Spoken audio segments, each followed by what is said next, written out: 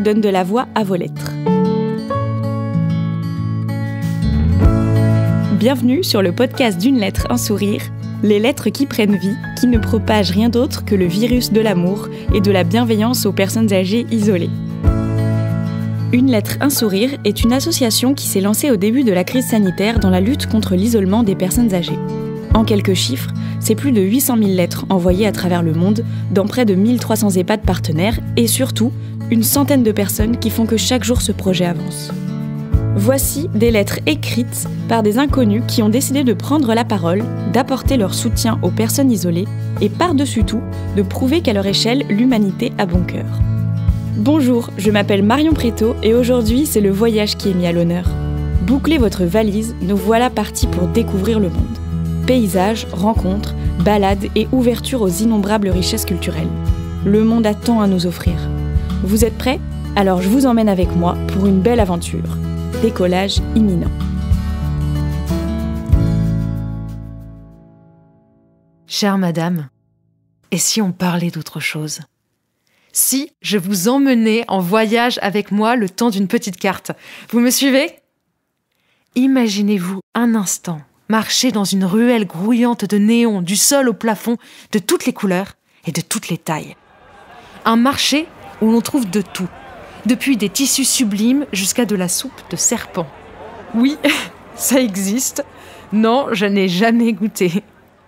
Nous sommes à Hong Kong, dans les quartiers populaires peu fréquentés des touristes. Des gens sourient à mon passage. Ils ne sourient pas à moi, non, mais à mon fils, Noé, un an et demi qui me vole la vedette harnachée contre moi dans son porte-bébé. Ici, la ville est en constante ébullition. Après avoir traversé ce vieux marché, nous embarquons dans un ding-ding, un tramway ancestral qui traverse l'île d'est en ouest, et en quelques minutes, nous voici au milieu des gratte-ciel modernes, puis au bord de l'eau, à admirer le balai des ferries qui passent et repassent. Les gens courent sur les quais, boivent un café en attendant leur bateau, promènent leurs chiens. Il se passe tellement de choses qu'on ne sait plus où regarder. Un groupe de jeunes s'installe et commence à chanter a cappella. C'est beau. Hong Kong, c'est ma ville d'adoption. J'y ai vécu plus de cinq années merveilleuses, j'y ai donné vie à mon fils. Aujourd'hui, par les temps qui courent, ma vie d'insouciance dans cette partie du monde me rend nostalgique. J'espère avoir pu vous changer les idées avec ma petite escapade. Je vous souhaite une très belle journée et je vous envoie du soleil. Beaucoup. Chère madame, cher monsieur, en ces jours peut-être un peu sombres, j'ai pensé qu'il pourrait vous plaire que je vous emmène en voyage. Ce sera pas très loin, certes, mais allons-y avec beaucoup d'entrain. Je vous invite à vous joindre à moi dans les gorges du Tarn, lieu qui a connu mon baptême de canoë. Venant d'une famille qui affectionne les bords de mer bondés à l'eau salée et au sable gris, je fus plus ravi de découvrir ce lieu dont je soupçonnais pas la beauté. Et en canoë en plus Avez-vous déjà ramé dans de l'eau très claire?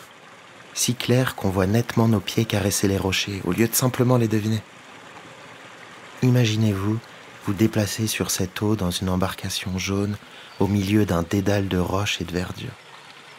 Imaginez des petites fleurs flotter sur les bords de la rivière et des canards nager côte à côte. Levez les yeux vers le ciel et voyez-le, bloqué entre les immenses rochers. C'est si beau que j'en oublie beaucoup d'aspects mais je vois encore clairement les arbres touffus, les petites plages secrètes, et je ressens encore le froid de la rivière et la douceur de s'immiscer en flottant dans son intimité.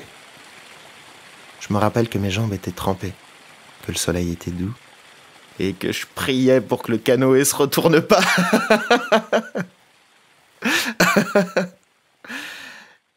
Il y a des expériences que je renouvellerai bien, et celle-ci en fait partie en espérant qu'il vous aura plu de vous la remémorer avec moi. Je souhaite que vous preniez soin de vous. Adib. Chère madame ou cher monsieur, aujourd'hui, dans ma promenade matinale, j'ai regardé avec les oreilles. J'aime ce moment, tôt le matin, où je peux me promener sans croiser grand monde. Quand le soleil se lève, la ville se réveille tout est encore calme. Les joggers ne sont pas encore nombreux. C'est à 9 heures qu'ils se déploient. J'ai découvert que l'avenue Secrétan, qui mène au but de Chaumont, est bordée d'acacias.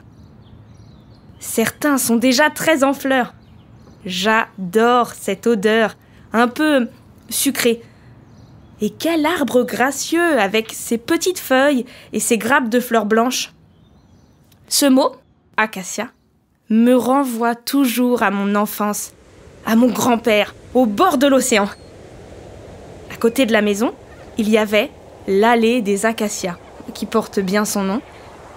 Ma grand-mère faisait des beignets avec les fleurs. Hmm. J'en ai jamais mangé ailleurs. J'étais heureuse de retrouver des acacias à côté de chez moi. Je me suis appuyée contre l'un d'eux et j'ai fermé les yeux. J'ai ouvert mes oreilles et je me suis laissée emmener par le chant des oiseaux. Un petit air a caressé ma peau. Bien sûr, il y avait aussi quelques sons de la ville, mais pas tellement présents. J'ai choisi de diriger mon oreille vers le chant des oiseaux. On peut choisir, vous savez? On peut choisir ce qu'on entend, ce que l'on met au premier plan. Quand des camions passaient et prenaient le dessus, je gardais mon oreille tendu vers les oiseaux comme un fil invisible entre nous qui demeurait dans le bruit. Je me suis aussi arrêtée à un croisement entre l'avenue Secrétan et la rue Pailleron. Il y avait là un bain de soleil à prendre. Je suis restée debout, au coin de la rue, le visage vers le soleil, les yeux fermés. C'était bon sur ma peau. Et je me suis mise à observer toujours les yeux fermés. Hein. J'entendais des joggeurs se rapprocher, me passer devant, puis s'éloigner. J'entendais leur foulée, leur rythme, leur discussion. J'ai aussi entendu un petit chien arriver par derrière. Puis j'ai entendu les pas de son maître ou sa maîtresse. C'était un petit chien, car les pas étaient rapides et légers, presque comme un cliquetis. Quelqu'un a ralenti derrière moi, ouvert son sac, fermé son sac à fermeture éclair, puis est parti. J'ai aimé être à la fois visible et invisible, vulnérable sans la vue et, à la fois confiante, présente d'une autre façon avec mes autres sens, les oreilles aux aguets dans toutes les directions. Quand j'ai ouvert les yeux, j'ai eu la sensation de revenir de loin. C'était un beau voyage. À bientôt. Manon. Chère madame, on ne se connaît pas encore. Ainsi, permettez-moi de me présenter. Je suis Louis. Je fêterai bientôt mes 24 ans. Je vis seul dans un petit appartement de Lyon où je termine mes études de chirurgie dentaire. Cette dernière année d'études a touché à sa fin, peut-être plus vite que prévu. Mais ce n'est pas grave. J'ignore la ville dans laquelle vous résidez. Est-ce une grande ville? Ou à la campagne? Je suis passionné de randonnée en montagne depuis plusieurs années. Les Alpes sont à mes yeux le plus beau terrain de jeu. Je suis tombé amoureux de ce sentiment d'euphorie lorsque l'on avance, un pas après l'autre, sur une crête rocheuse en altitude, chaque seconde demandant une totale focalisation sur l'instant présent. N'est-il pas beau de se concentrer uniquement sur le moment présent? Admirer toute la valeur de ce jour qui nous est offert. Qu'en pensez-vous? En plus, on dit que marcher est bon pour la santé.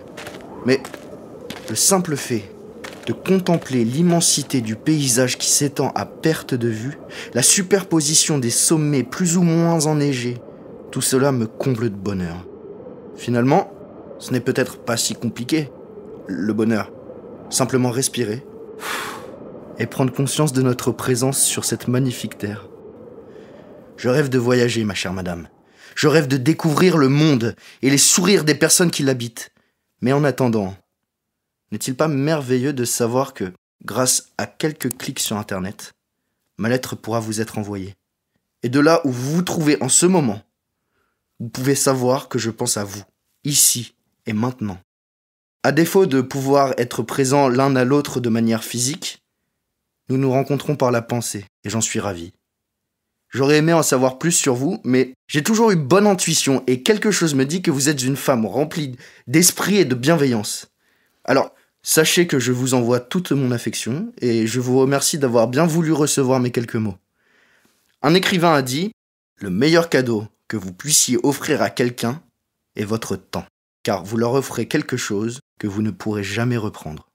Je vous remercie donc du temps que vous m'avez accordé, et je suis ravi du bel échange que nous nous sommes offerts. Depuis les pensées affectives qui m'ont mené à l'écriture de cette lettre jusqu'à leur destination, entre vos mains, et je l'espère, jusqu'à votre cœur. Bien à vous, Louis. Chère madame, cher monsieur, aujourd'hui je vous écris pour vous emmener voyager avec moi. Vous êtes prêts? Prenez votre valise imaginaire. Et c'est parti pour un petit tour du monde ensemble. Direction l'Italie, pour sa Dolce Vita. Visiter Vérone et manger des spaghettis. Passer à Séville au senteur d'oranger et jouer des castagnettes sur un rythme flamenco. Olé olé. Traverser le Maroc dans son souk grouillant de monde aux couleurs flamboyantes et ses odeurs d'épices. Mmh. Et pourquoi pas savourer un bon tagine. Et nous voilà, remontés vers l'Autriche, avec ses danses folkloriques et sa bière inimitable, dans une ambiance festive sous les accordéons euphoriques. Sans oublier la Belgique, avec son vent du nord, et s'y réchauffer autour d'un cornet de frites à la moutarde, accompagné d'un bon vin chaud. Traverser la Manche vers Londres, visiter le Big Ben et saluer la reine Elisabeth avec un bon thé raffiné dans des tasses en porcelaine. So British. Remonter vers l'Écosse, entouré de ses châteaux hantés, et se balader dans l'immensité verdoyante de ses falaises pentues. Rencontrer des Écossais en kilt sous un air de cornemuse. Continuer vers la Finlande dans un décor blanc de fraîcheur pour s'émerveiller avec ses aurores boréales et manger une raclette et du saumon fumé. Faire une pause au Japon, découvrir le mont Fidji et les arts martiaux et ses kimonos faits de soie précieuse. Et revenir vers notre belle capitale. On dit qu'elle est la plus belle du monde. Paris et sa tour Eiffel.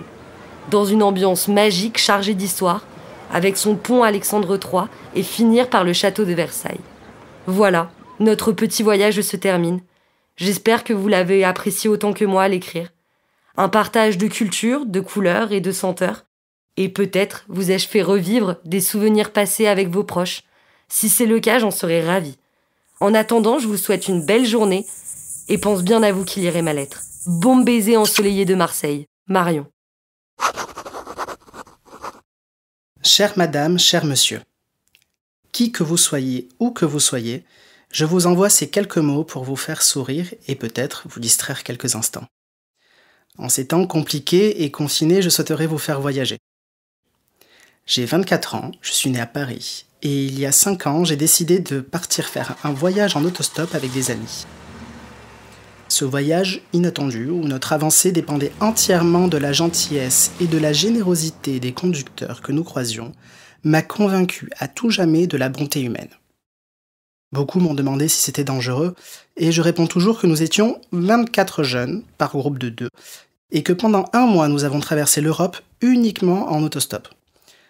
Si la majorité des gens étaient mal intentionnés, nous ne serions pas tous arrivés à bon port. Nous avons voyagé de Paris à Helsinki. Et j'aimerais vous raconter une étape qui s'est déroulée en Allemagne, à Dresden. Nous étions entrés dans la ville pour le déjeuner. Une erreur, car il était difficile d'en ressortir en stop. Nous attendions depuis presque trois heures en dessous d'un panneau, Prague, de plus en plus convaincus que nous allions devoir camper sur le bord de la route. La nuit allait tomber quand un premier conducteur nous a remonté le moral. Il ne pouvait pas nous avancer, mais il nous a offert du saucisson. Juste après, une autre voiture s'arrête et nous propose de nous emmener à la prochaine station-service. On monte, mais il n'y a pas de station-service, et on finit par arriver à la frontière tchèque. Il se retourne, nous regarde et nous dit Bon, allez, je vous amène à Prague. Et nous propose quelques bières de son coffre. Donc nous voilà donc avec notre saucisson et nos bières en route pour Prague. C'était parfait, nous allions pouvoir dormir à Prague comme prévu. En arrivant, on a voulu inviter notre sauveur à dîner, mais il nous a simplement répondu Faut que je retourne en Allemagne, profitez bien. Un héros sans cap, comme beaucoup des conducteurs que j'ai eu la chance de rencontrer grâce à ce voyage. J'espère que cette petite histoire vous apportera une dose de positif. Affectueusement, Nicolas. Très chère madame, je m'appelle Justine, j'ai 35 ans et je vis à Toulouse. Ma ville est rose, même en ces jours pénibles. Mon cœur est rose, même en ces jours d'isolement. Je voulais vous écrire pour vous dire que je pense à vous. Je vous envoie beaucoup d'amour et de pensées positives. Même si nous ne pouvons pas sortir, récemment je voyage beaucoup dans mes souvenirs les plus doux. Si vous êtes partante pour un petit voyage avec moi, je vous emmène à Rome. Piazza Nazzona, une des plus belles places au monde, avec de grandes fontaines et de fabuleuses sculptures de dieux et créatures mythologiques. Comme je viens d'arriver pour y faire un an d'études, je me trouve seule et après des heures de visite dans la ville, je me suis assise sur un rebord de fontaine. À cet endroit, parce qu'il y a un chanteur de rue très élégant, en costume trois pièces malgré la chaleur et le soleil resplendissant. Il chante un air d'opéra avec sa belle voix de ténor. Je ferme les yeux et j'écoute plusieurs chansons. J'en ai encore la chair de poule quand j'y pense. La beauté de la place, la beauté de l'histoire, la beauté de ses notes et de ses airs, la beauté des gens qui marchent, qui rient, qui sourient. Et figurez-vous que le chanteur était très beau aussi. Je m'en suis rendu compte quand il a arrêté de chanter et qu'il s'est approché de moi. Je vous vois sourire depuis un moment. Vous aimez la musique d'opéra? J'ai répondu que je n'y connaissais rien, mais que j'avais été transportée même sans comprendre les paroles. il m'a dit que ça parlait d'amour et de souffrance, mais surtout d'amour. L'amore. J'en étais pleine pour ce beau pays et ce beau moment. Nous ne sommes pas tombés amoureux, mais ce beau ténor est devenu mon ami. Juste par hasard, juste parce que je me suis arrêtée et qu'il a eu envie de me parler. Parce que je souriais. J'ai vu des choses merveilleuses, mais ce moment tout simple reste un des plus doux. Et en vous écrivant ce petit souvenir, j'ai souri tout du long. Un vrai beau sourire plein de dents. C'est ce sourire que je vous envoie, plein de chaleur italienne et d'affection. J'espère que ce petit voyage dans mes souvenirs vous aura fait sourire aussi et qu'il s'invitera dans l'un des vôtres. Choisissez pour moi l'un des plus doux. Je pense bien à vous et vous envoie un de ces baisers qui volent dans les airs, sur des kilomètres et des kilomètres, pour se poser sur une joue. Portez-vous bien. Justine. Chère madame, cher monsieur. En ces temps j'ai voulu partager avec vous un instant de vie, une histoire pleine de lumière. Je voulais vous parler d'un petit endroit, perdu quelque part dans les terres sud-africaines. Ici, on recueille, on sauve, on offre une nouvelle vie à des grands félins qui ont subi des maltraitances, des rescapés.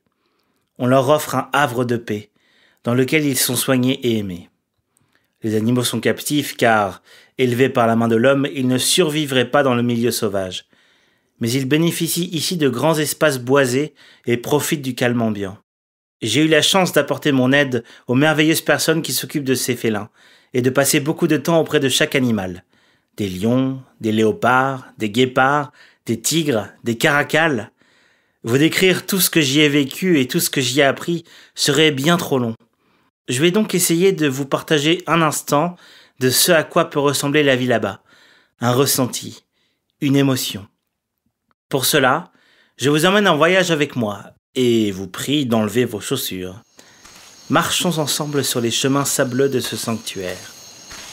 Il est 17 heures et le soleil brûlant crépite sur notre peau, avant de s'échapper petit à petit derrière les montagnes et de colorer le ciel de rose. Le sable sous nos pieds est fin et encore gorgé de chaleur. La brise fraîche vient agiter les feuilles des arbres environnants. Tout est calme. Jusqu'à ce qu'un premier lion se redresse et commence à rugir. Le bruit s'élève dans l'air, puissant et assourdissant. Puis il est suivi par tous les autres lions, chacun d'entre eux clamant son appartenance au clan. Les vibrations se propagent jusque sous nos pieds. Nous sommes figés par la beauté et la force de ces rugissements, qui ne trouveront pour réponse que l'écho lointain renvoyé par les montagnes. Puis tout s'apaise à nouveau, et le silence reprend ses droits. Les instants passés en ce lieu resteront pour moi, j'en suis sûr, parmi les plus beaux de ma vie. Ils sont empreints de sensations, d'émotions, de sérénité et de lumière, et sont devenus une source de force à chaque difficulté à affronter, de joie à chaque désespoir, et d'évasion à chaque fois que je ferme les yeux. J'espère que ce petit voyage vous apportera un peu de bonheur, de rêve et d'espoir. Bien à vous, Pierre. Bonjour. Par ce petit mot, j'aimerais vous faire voyager. Cette fois, je vous emmène à Cuba. Dans votre valise, prenez votre plus beau chapeau, de bonnes chaussures de marche et vos lunettes de soleil. Nous partons depuis la Havane, en direction de Vignal, dans une belle Chevrolet des années 1950. Elle roule à vive allure. De la salsa se diffuse depuis les haut-parleurs. Les fenêtres sont grandes ouvertes. Attention à votre chapeau, il risque de s'envoler. Nous arrivons dans une magnifique vallée. Il y a comme des montagnes rondes qui sèchent là, sous le soleil. Les locaux les appellent les mogotes. Sur cette terre très riche, d'une belle couleur rouge que poussent les meilleures feuilles du tabac au monde, qui servent à rouler les fameux cigares cubains. Angèle, un producteur explique qu'il faut plusieurs mois pour les confectionner. Après avoir fait sécher les feuilles dans des granges, on les fait fermenter avec du miel, des épices et du rhum. C'est de là que vient le goût si particulier du cigare. Là-bas, ils les appellent les pouros. Il fait bon se poser dans le petit village où les agriculteurs circulent encore sur des chevaux ou des charrettes tirées par des bœufs. J'ai l'impression de remonter le temps. Allons maintenant manger quelque chose. Au menu, je vous propose de goûter le plat typique, le pacadillo, du bœuf haché avec du riz et des haricots rouges. Si vous êtes tenté, vous pouvez aussi goûter un rhum local, un délice. Après cette grande balade, il est maintenant temps de rentrer en France. J'espère vous avoir fait voyager un peu pendant quelques minutes. Amicalement. Mathilde. Bonjour madame. Bonjour monsieur. Je m'appelle Élise. Je suis une étudiante strasbourgeoise de bientôt 22 ans. On ne se connaît pas vraiment. Mais j'ai envie de vous raconter un voyage. En ces temps de confinement, personne ne dit non à un peu d'évasion, n'est-ce pas? L'année dernière, je suis partie étudier pendant neuf mois à Moscou. Je ne sais pas si vous êtes déjà allé en Russie. Pour moi, c'était une première. J'ai atterri à l'aéroport, les valises pleines de stéréotypes sur les immeubles staliniens de la même couleur que la météo morne, les sourires absents des visages, le froid. J'étais néanmoins bien décidée à me faire ma propre opinion sur ce pays qui suscite autant la crainte que la fascination. Certes, il est fait bien plus froid qu'ici, autant dans la rue que sur les figures des passants. Mais la chaleur, si elle se cache un peu, ne tarde jamais à se faire sentir. En effet, la plupart des Russes n'hésiteront pas à vous venir en aide s'ils vous voient perdu dans l'une de leurs magnifiques stations de métro, ou à vous offrir un thé avec une petite douceur, une fois le seuil de leur porte franchi. J'ai eu la chance de faire de belles rencontres au cours de ces longs mois, et j'aimerais partager avec vous le récit de quelques jours en particulier. Voyez-vous, j'ai eu l'idée de traverser seule la Sibérie en plein milieu du mois de janvier, sur les rails du fameux Transsibérien. Je me suis notamment arrêtée à Irkoutsk, non loin du lac Baïkal. À cette époque de l'année, le lac était complètement gelé. Souvent, du fait des variations de chaleur, la glace se craquelle, produisant des bruits sourds qui résonnent jusque dans la montagne voisine. C'était si impressionnant qu'on croirait entendre le cœur du lac battre tel un immense tambour. J'ai eu la chance d'être hébergée sur l'île d'Olkon, par Sergueï et sa famille. Ils accueillent les voyageurs en l'échange de quelques services, comme celui de s'occuper de leurs chèvres. Pendant cinq jours, j'ai vécu en leur compagnie, au milieu de la nature. Ils m'ont invité à célébrer l'épiphanie orthodoxe avec eux, le 19 janvier. La tradition russe n'est pas de déguster une galette, mais de s'immerger dans l'eau glacée.